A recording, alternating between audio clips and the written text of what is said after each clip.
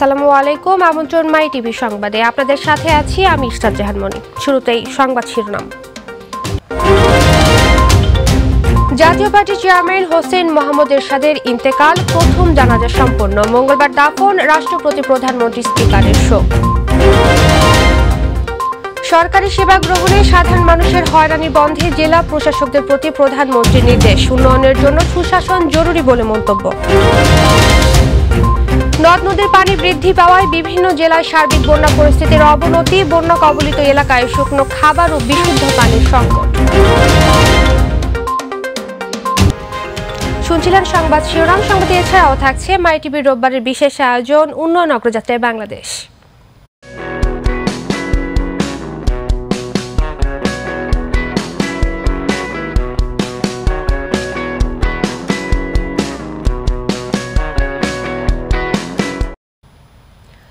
আরও থাকছে রোববারের নিয়মিত আয়োজন এই রাজধানী।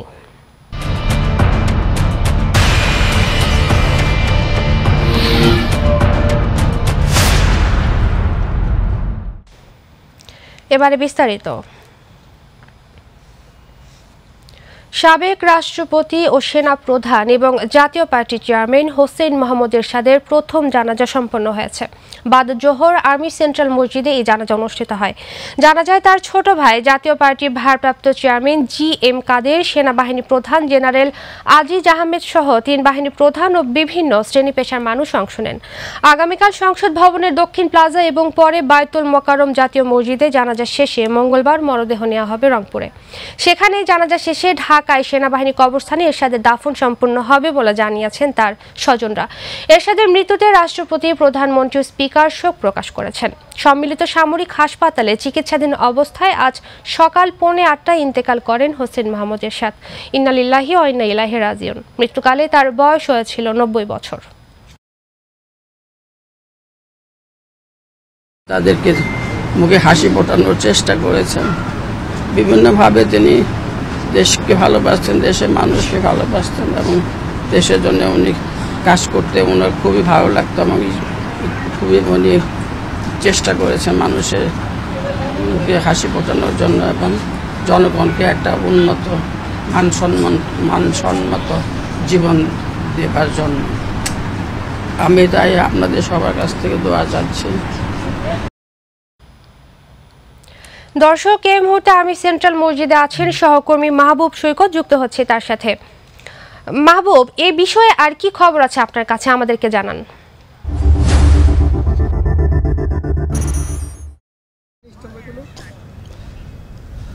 মনি, ঠিক শোয়া একটা, আসলে সেনা সদর দপ্তরের যে ঢাকা ক্যান্টনমেন্ট, এই ক্যান্টনমেন্টের যে কেন্দ্রীয় জামে মসজিদ, সেই জামে মসজিদের জোহর নামাজ শেষে সাবেক রাষ্ট্রপতি সাবেক সেনাপ্রধান এবং সংসদের বিরোধী দলীয় নেতা এইচ এম এরশাদের প্রথম জানাজা আসলে অনুষ্ঠিত হয়েছে। এই অনুষ্ঠিত যে জানাজা হয়েছে, সেখানে সামরিক, বেসামরিক বিভিন্ন পর্যায়ের লোকজন এসেছে। বিশেষ করে সামরিক যে তিন বাহিনী রয়েছে সেই তিন বাহিনীর বিভিন্ন পর্যায়ের কর্মকর্তারা উপস্থিত ছিলেন। আমরা দেখেছি যে তার আগে সম্মিলিত সামরিক হাসপাতালের যে হিমাগার, সেই হিমাগার থেকে এখানে লাশ নিয়ে আসা হয়েছিল। সেই লাশ বাংলাদেশের জাতীয় পতাকা এবং সেনাবাহিনীর যে পতাকা রয়েছে, তা দিয়ে পরিবেষ্টিত ঢাকা ছিল এবং সেই লাশ নিয়ে আসা হয়েছিল। আমরা এই জানাজায় আমরা দেখেছি যে সেনাপ্রধান জেনারেল এম এ আজিজ তিনি অংশ নিয়েছিলেন। এখানে আমরা দেখেছি ঢাকা উত্তর সিটি কর্পোরেশনের মেয়র আতিকুল ইসলামকে আমরা এই জানাজায় অংশ নিতে এসেছিলেন ওয়ার্কার্স পার্টির সভাপতি রাশেদ খান মেনন। আমরা দেখেছি গণস্বাস্থ্য কেন্দ্রের প্রতিষ্ঠাতা ডক্টর জাফরুল্লাহকেও আমরা অংশ নিতে দেখেছি। এছাড়া জাতীয় পার্টির বিভিন্ন পর্যায়ের নেতাকর্মী, বিশেষ করে এইচ এম এরশাদের ছোট ভাই জাতীয় পার্টির acting chairman G M Quader তিনি এখানে উপস্থিত ছিলেন। জানাজার পূর্বে তিনি কথা বলেছেন।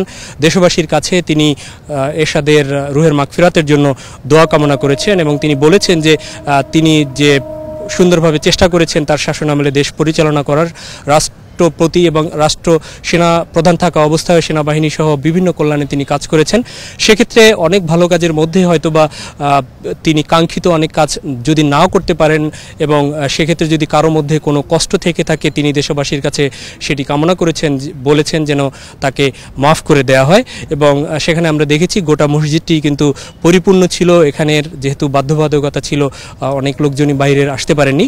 আগামীকালকে কিন্তু সকাল সাড়ে দশটায় সংসদের দক্ষিণ প্লাজায় তার আরেক জানাজা অনুষ্ঠিত হবে এবং সকাল এগারো, সাড়ে এগারোটায় বনানী যে জাতীয় পার্টির চেয়ারম্যানের যে রাজনৈতিক কার্যালয়, সেখানে পরবর্তী জানাজা হবে এবং আসর নামাজের পরে জাতীয় মসজিদ বাইতুল মোকাররমে তার তৃতীয় জানাজা আগামীকাল অনুষ্ঠিত হবে। এরপরে আবারও তাকে লাশ হিমাগারে রাখা হবে এবং সোমবার সকালে তার নিজ জেলা রংপুরে নিয়ে যাওয়া হবে। সেখানে সকালে জানাজা হবে এবং সেখানে হয়তো ঈদগাহ মাঠ কিংবা স্কুল মাঠে অনুষ্ঠিত হবে।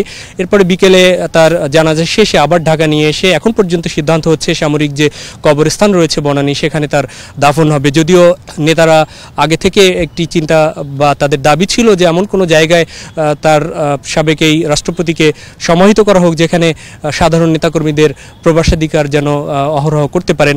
এবং আপনারা জানেন যে এরশাদ জীবদ্দশায় চেয়েছিলেন যে এরকম কোনো একটি জায়গা থাকবে, যে জায়গায় মসজিদ থাকবে, মাদ্রাসা কমপ্লেক্স থাকবে এবং বড় কোনো জায়গায় তার সমাধি হবে যেখানে তার নেতাকর্মীরা যেতে পারবে এবং সেখান হতেই তার হয়তো আদর্শ প্রচার হবে এরকম একটি চিন্তা নিয়ে তিনি ঢাকার আশেপাশে বেশ কিছু জায়গা দেখেছিলেন কিন্তু তার জীবদ্দশী সেটি আসলে ঠিক করে যেতে পারেননি।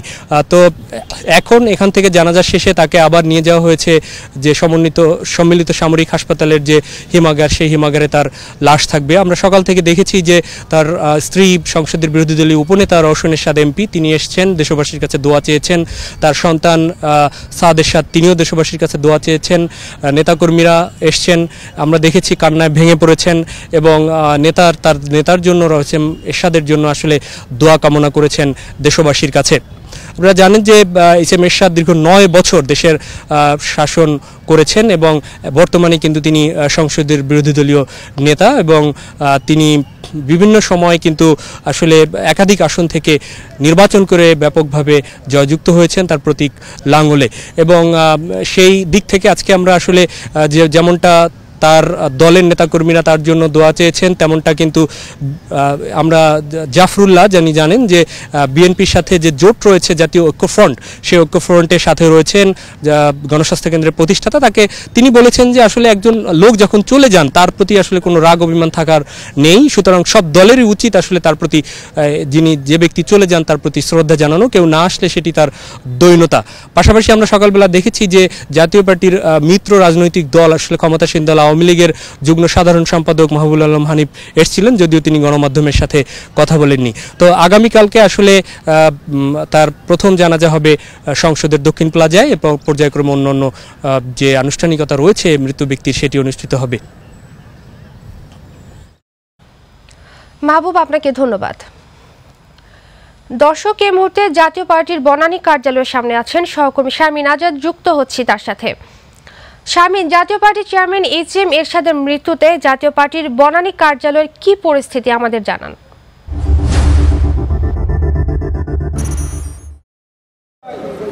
ধন্যবাদ মনি মনি আমি কিন্তু সকাল থেকেই জাতীয় পার্টির যে বনানী কার্যালয়, সেখানে রয়েছি এবং এর আগে সংবাদেও আমি দেখিয়েছি।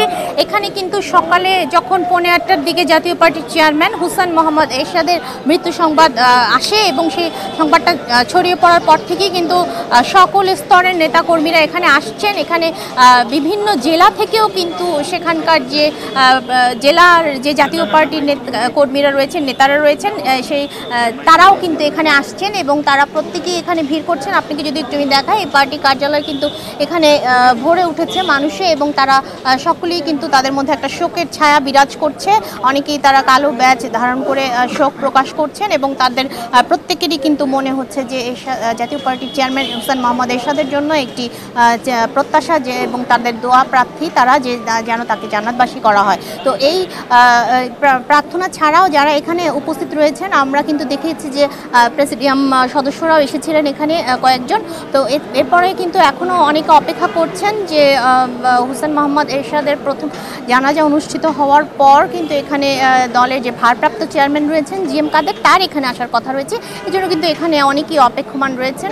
তো আপনাকে যদি আরেকটু জানিয়ে রাখি এই বনানী কার্যালয় থেকেই কিন্তু প্রতিদিন গত কয়েকদিন ধরে প্রতিদিন হুসেন মোহাম্মদ এরশাদের শারীরিক অবস্থা নিয়ে ব্রিফিং করছিলেন জি এম কাদের তার ভাই জি এম কাদের এবং আহ, সেখানে কিন্তু প্রতিদিনই আমরা জানছিলাম যে প্রতিদিনই একটু একটু করে খারাপ থেকে খারাপতর হচ্ছিল হুসেন মোহাম্মদ এরশাদের শারীরিক অবস্থা, যেটা শেষ পর্যন্ত আমরা আজকে জানতে পারলাম যে তার মৃত্যু হয়েছে। এবং এরপরে কিন্তু যারা এখানে আসছেন, তাদের প্রত্যেকের মধ্যেই একটা অন্যরকম প্র- প্রত্যাশা এবং তাদের একটা অন্যরকম কথা যে জাতীয় পার্টির সাথে স্মৃতিচারণ করছেন তারা। তারা বলছেন যে তিনি সে সময় কেমন নেতা ছিলেন এবং তার সময়ে কি কি উন্নয়নের কাজ করেছেন, তারা এই সমস্ত কথাই কিন্তু তাদের মধ্যে ঘুরে ফিরে আসছে আলোচনায়। তো এই এভাবেই তারা মনে করছেন যে জাতীয় পার্টিকে সামনের দিনগুলোতে আরও তারা কীভাবে এগিয়ে নিয়ে যাবেন সেটাও তারা মনে করছেন এবং এখন কিন্তু তাদের সব মূল কেন্দ্রবিন্দুতেই রয়েছে এরশাদের যে পরবর্তীতে পরবর্তী জানাজে এবং তারপরে দাফন নিয়ে তাদের মধ্যে চিন্তাভাবনা ঘুরপাক খাচ্ছে। তো আমার কাছে এখানকার এই জাতীয় পার্টি বনানী কার্যালয়ের এটাই সর্বশেষ খবর ছিল। ধন্যবাদ আপনাকে, মনি। শারমিন, আপনাকে ধন্যবাদ।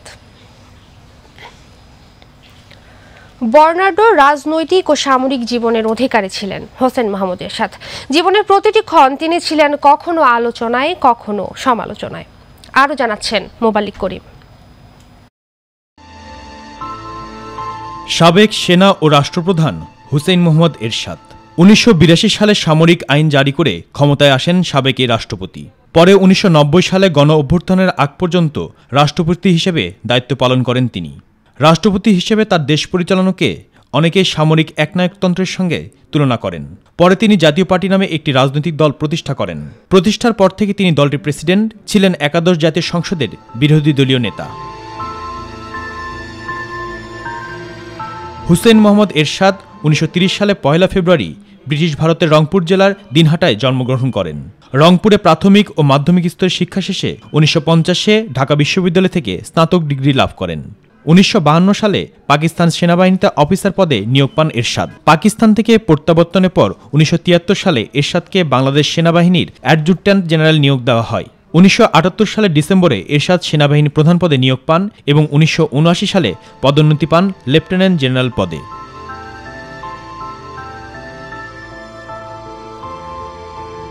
দেশের পরিবর্তিত পরিস্থিতিতে উনিশশো বিরাশি সালে প্রেসিডেন্ট বিচারপতি আব্দুস সাত্তার জরুরি অবস্থা ঘোষণা করলে সামরিক শাসন জারির পথ সুগম হয় সেনাপ্রধানের।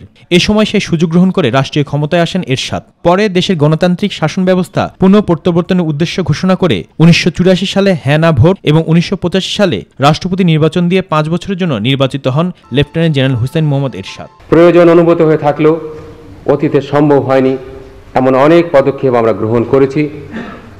শুধুমাত্র আপামর জনগোষ্ঠীর কল্যাণ সাধনে। উনিশশো সালের সংসদ নির্বাচনে এরশাদ প্রতিষ্ঠিত জাতীয় পার্টি জয়লাভ করে। কিন্তু মেয়াদ পাঁচ বছর পূর্ণ হওয়ার আগেই সংসদ ভেঙে উনিশশো সালে আরও একটি সংসদ নির্বাচন দেন রাষ্ট্রপতি হুসেন মোহাম্মদ এরশাদ। প্রধান দলগুলোর অংশগ্রহণ ছাড়াই ওই নির্বাচনে জয় পায় জাতীয় পার্টি। কিন্তু উনিশশো নব্বই সালে গণবিক্ষোভে পদত্যাগ করেন রাষ্ট্রপতি এরশাদ। পরে বিভিন্ন মামলায় তাকে গ্রেপ্তার করা হয় এবং জামিনে মুক্তি পান উনিশশো সাতানব্বই সালের নয় জানুয়ারি। এরশাদের শাসনকালীন সবচেয়ে বড় সাফল্য হচ্ছে স্থানীয় সরকার অবকাঠামো পুনর্গঠন।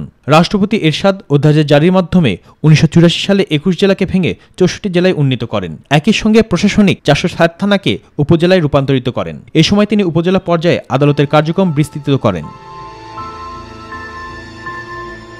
উপজেলা পরিষদের সঙ্গে জেলাকে এবং জেলার সঙ্গে রাজধানীকে সংযুক্ত রাখতে এরশাদের শাসনামলে সারা দেশের যোগাযোগ ব্যবস্থার উন্নয়ন ঘটে এ সময় তিনি অভাবপীড়িত মানুষের জন্য গুচ্ছক্রমের প্রবর্তন করেন নানা উন্নয়ন কর্মকাণ্ড ও পরিকল্পনার জন্য জাতিসংঘের পপুলেশন অ্যাওয়ার্ড জাতিসংঘের পরিবেশ award O global official of dignity award লাভ করেন সাবেক এই রাষ্ট্রপতি Bangladesh. My meeting with the President was very satisfying. Moballik Karim my TV Dhaka at this critical moment. সরকারি সেবা গ্রহণে সাধারণ মানুষ যেন হয়রানির শিকার না হয়, তা নিশ্চিত করতে জেলা প্রশাসকদের প্রতি নির্দেশ দিয়েছেন প্রধানমন্ত্রী শেখ হাসিনা। সার্বিক উন্নয়নের জন্য সুশাসন জরুরি বলেও মনে করেন তিনি। প্রধানমন্ত্রী কার্যালয়ে আয়োজিত জেলা প্রশাসক সম্মেলনের উদ্বোধনী অনুষ্ঠানে এসব কথা বলেন তিনি। সন্ত্রাস, মাদক ও দুর্নীতি দূর করতে, জনসচেতনতা তৈরি করতেও জেলা প্রশাসকদের প্রতি আহ্বান জানান প্রধানমন্ত্রী। রাকিব হাসানের রিপোর্ট। নিয়ে যাওয়ার লক্ষ্যে জেলা প্রশাসকগণ সরকারি সিদ্ধান্ত বাস্তবায়ন করতে মাঠ পর্যায়ের নানা প্রতিবন্ধকতা নিয়ে প্রধানমন্ত্রীর সঙ্গে জেলা প্রশাসকদের মুক্ত আলোচনার অন্যতম আয়োজন এই জেলা প্রশাসক সম্মেলন। উন্নয়নের সকল সূচকে অপ্রতিরোধ অভিযাত্রায় বাংলাদেশকে এগিয়ে নিতে কাজ করে যাচ্ছে জেলা প্রশাসন। উদ্বোধনী অনুষ্ঠানে মাঠ পর্যায়ে কাজের অভিজ্ঞতা তুলে ধরেন জেলা প্রশাসক ও বিভাগীয় কমিশনাররা। যে কোনো ধরনের চ্যালেঞ্জ মোকাবেলায় প্রশাসনের ক্যাডারের মেধাবী সদস্যরা পূর্বের যে কোনো সময়ের তুলনায় বর্তমানে অধিকতার প্রস্তুত। প্রধানমন্ত্রী তার বক্তব্যে দেশকে এগিয়ে নিতে স্থানীয় সরকারকে আরও শক্তিশালী করার উপর গুরুত্ব আরোপ করেন। বলেন তৃণমূলেও পৌঁছে দিতে হবে নাগরিক সকল সুযোগ সুবিধা। আমাদের উন্নয়নটা হচ্ছে শুধু মুষ্টিমেয় লোকের জন্য না আমাদের উন্নয়নের সকল পরিকল্পনা একেবারে গ্রাম পর্যায় থেকে তৃণমূল পর্যায় থেকে যেন মানুষের জীবন মান উন্নত হয় দারিদ্র সীমা থেকে মানুষ যেন উঠে আসতে পারে। তাদের ক্রয় ক্ষমতা যেন বৃদ্ধি পায়, তাদের জীবনযাত্রা যেন আরও উন্নত হয় এবং গ্রাম থেকে শহরে আসা প্রবণতাটা যেন বন্ধ হয়, সেদিকে লক্ষ্য রেখেই আমাদের সকল পরিকল্পনা। যে আমি মনে করি যে জেলা প্রশাসন মাঠ পর্যায়ে অত্যন্ত গুরুত্বপূর্ণ একটি মানে ভূমিকা আপনারা রাখতে পারেন। কাজে আপনাদের উন্নয়নের গতিধারা অব্যাহত রাখতে সুশাসনের প্রয়োজনীয়তার কথাও তুলে ধরেন সরকার প্রধান। চেষ্টা করলে যে উন্নয়ন করা যায়, সেটা আমরা প্রমাণ করেছি। গত এক দশকে বাংলাদেশ যে উন্নয়ন করেছে, আজকে সারা বিশ্ব তার স্বীকৃতি দিতে বাধ্য হয়েছে। সরকারি সেবা গ্রহণে সাধারণ মানুষ যাতে কোনোভাবে হয়রানি বা বঞ্চনার শিকার না হয়, সেদিকে অবশ্যই আপনারা লক্ষ্য রাখবেন। সন্ত্রাস ও সাম্প্রদায়িকতা দূর করে মাঠ পর্যায়ে স্থিতিশীলতা বজায় রাখতে জেলা প্রশাসকদের পরামর্শ দেন প্রধানমন্ত্রী শেখ হাসিনা। জঙ্গিবাদ সন্ত্রাস সাম্প্রদায়িকতা এগুলি দূর করে সর্বক্ষেত্রে যেটা শান্তি শৃঙ্খলা স্থিতিশীলতা বজায় রাখার ক্ষেত্রে আপনার আরও সতর্কতার সঙ্গে কঠোর এবং কঠোরভাবে দায়িত্ব পালন করতে হবে। এ ব্যাপারে যথাযথ পদক্ষেপ আপনারা নিয়েছেন এবং জনসম্পৃক্ততা সৃষ্টির মাধ্যমে এই জঙ্গিবাদ, সন্ত্রাস, সাম্প্রদায়িকতা দূর করা হচ্ছে। এটাই হচ্ছে সবথেকে কার্যকর ভূমিকা রাখছে। পাঁচ দিনব্যাপী এই সম্মেলনে উনত্রিশটি অধিবেশনে অংশ নেবেন জেলা প্রশাসকরা। Rakib Hasan, my TV, Dhaka. দেশের সবকটি নদ নদীর পানি বিপদ সীমার উপর দিয়ে প্রবাহিত হওয়ায় বিভিন্ন জেলায় সার্বিক বন্যা পরিস্থিতির আরও অবনতি হয়েছে। পানিবন্দী অবস্থা রয়েছে কয়েক লাখ মানুষ। বন্য কবলিত এলাকাগুলোতে দেখা দিয়েছে শুকনো খাবার ও বিশুদ্ধ পানির সংকট। প্রতিনিধিদের পাঠানো তথ্য, ভিডিও চিত্রে রাজিয়া সুলতানা স্মৃতির ডেস্ক রিপোর্ট।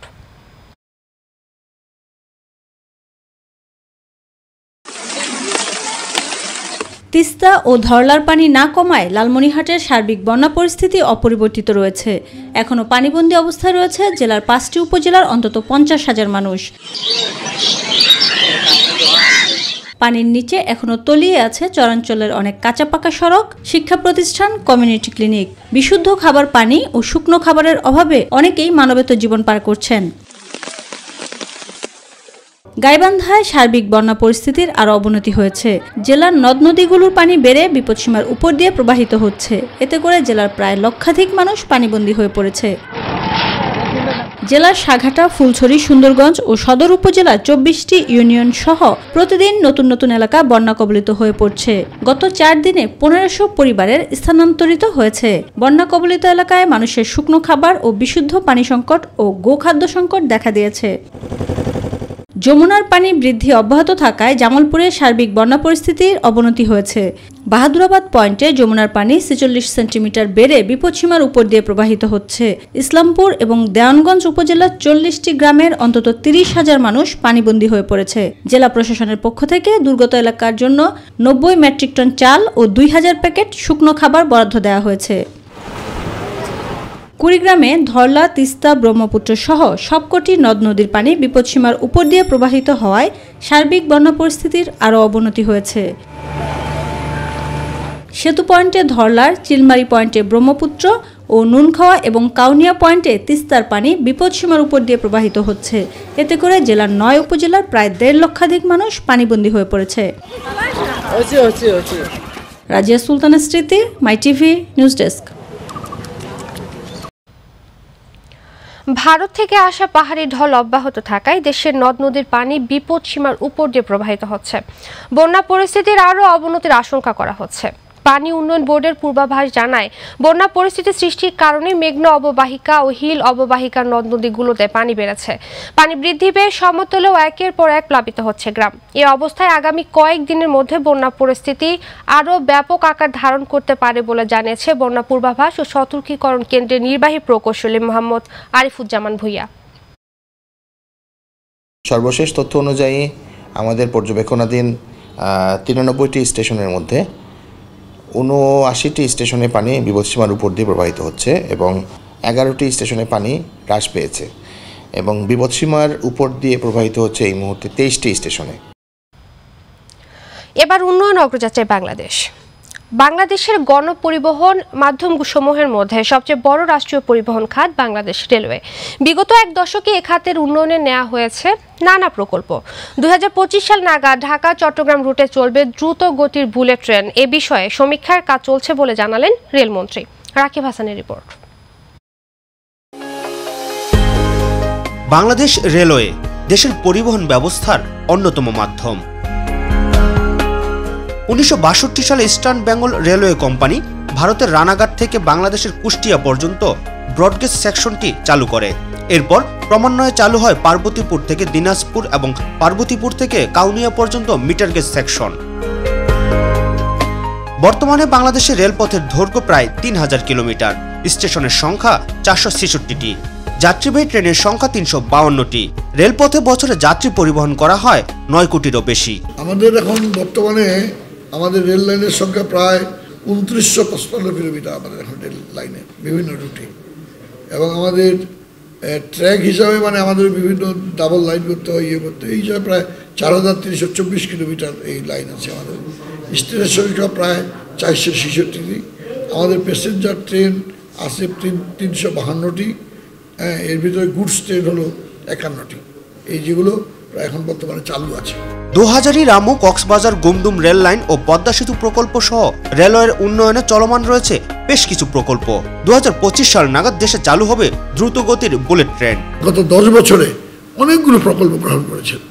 এই যে রেল লাইনগুলোর নতুন করে সংস্কার এবং আমাদের যে মিটার গেজ ব্যবস্থা এখন পৃথিবীর কোথাও নাই এগুলো সব জায়গাতে ব্রড গেজ ভারতে প্রায় শতভাগ ব্রড গেজ লাইনে তারা এখন রূপান্তর করেছে।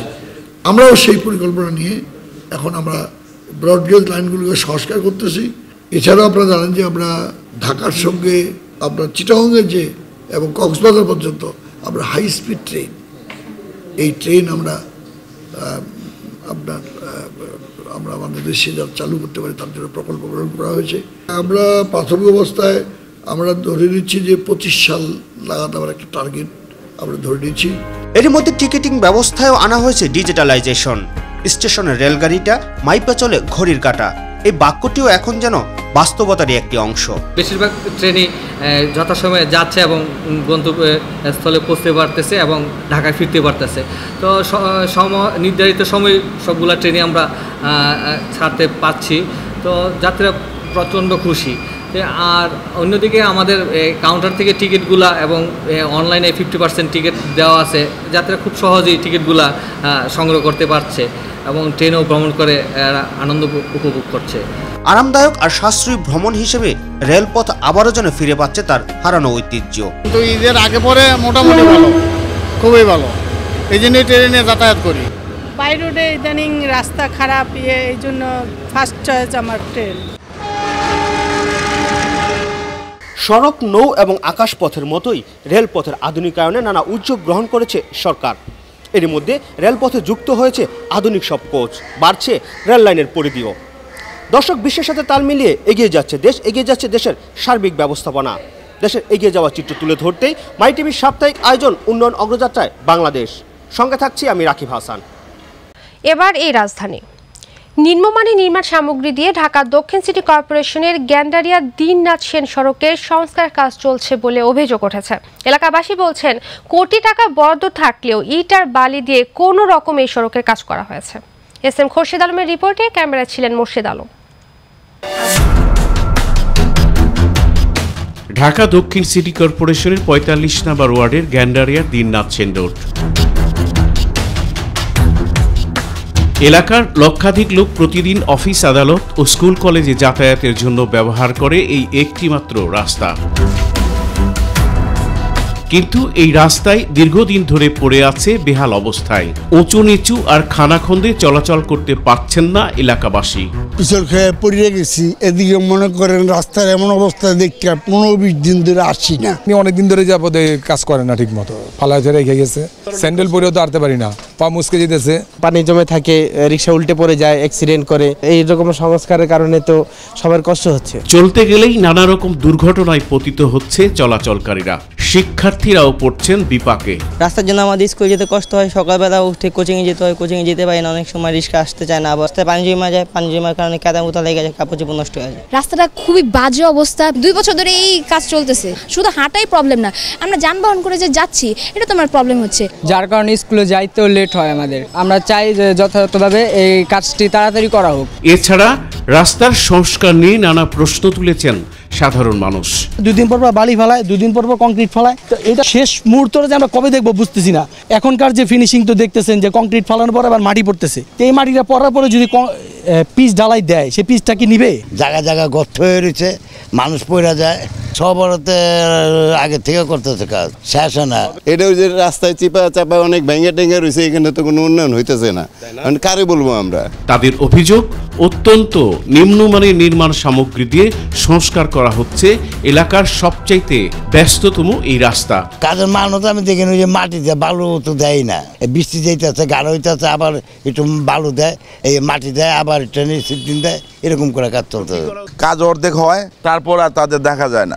আমাদের দুনিয়া ঘুরে যেতে হয় এই রাস্তার জন্য। এই রাস্তা তো কেদা বালু যা দিয়েই ভরছে এখন তো এই যে কুয়া ফালাইছে। এর নিয়ম হইলে এটারে রোলার দিয়ে ডইলে যাইব। ফলে আশঙ্কার শেষ নেই চলাচলকারীদের। এখানে না রিক্সা আসতে পারে না গাড়ি আসতে পারে। যেহেতু সিটি কর্পোরেশনের আন্ডারে সুতরাং এই অবহেলাটা তাদেরই মনে করব আমরা। রাস্তা এখানে পাইপ ফেলাই দিয়ে গেছে আর তো কোনো কার্পেটিং এর কোনো খবরই নেই আর কি করব কি? আর তো করাই হয়নি। আমরা তো দুই মাস যাবত বৈশা বৈশা বাড়া দিয়েছি। সাধারণ মানুষের দাবি অতি দ্রুত যেন রাস্তা মেরামত করে জনগণের চলাচলের ব্যবস্থা করা হয়। তাড়াতাড়ি কাজ করার জন্য যে পদক্ষেপ নেওয়া সেটার কোনো ব্যবস্থা দেখতেছি না। আমরা আসলে মিডিয়ারও সহযোগিতা চাই যে এটা আমাদের দ্রুত সমাধান হোক। উন্নয়নের ধীরগতি হয় চলাচলের একেবারে অনুপযুক্ত হয়ে পড়েছে রাজধানীর গ্যান্ডারিয়া দিন নাচ্ছেন এই রোড। প্রতিনিয়ত কোনো না কোনো দুর্ঘটনা ঘটছে। ছেলেমেয়েরা যেতে পারছে না স্কুল অথবা কলেজে আর সাধারণ মানুষ তো চলতেই পারছে না। আর তাই অতি দ্রুত এই রাস্তার সংস্কার চাই এলাকাবাসী। দর্শক, এই রাজধানীর যে কোনো জনদুর্ভোগের চিত্র তুলে ধরছে মাই টিভি আর এই জনদুর্ভোগের চিত্র তুলে ধরতে আমরা আসছি আপনার এলাকায়। প্রতি রোববারের এই আয়োজনে আপনারা থাকুন। মাই টিভির সাথে সঙ্গে থাকব আমি, এস এম খোরশেদ আলম। সঙ্গে থাকার জন্য ধন্যবাদ। পরবর্তীতে জেলা সংবাদ বিকেল পাঁচটায় দেখার আমন্ত্রণ জানিয়ে বিদায় নিচ্ছি আমি শাহজাহান মনে আল্লাহ হাফেজ।